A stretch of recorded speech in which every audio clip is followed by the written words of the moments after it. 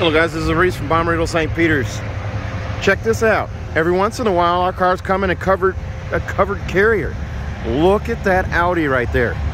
They just delivered a Taos off of this truck. Covered carrier. Audi and Volkswagen share a port, so they share trucks a lot of times. That thing is beautiful. Looks like there's only Audis on that truck, but then this is a regular truck here that's uncovered. They both showed up at the same time today. If you're interested in interested in ordering a car, give me a call, 636-290-4257.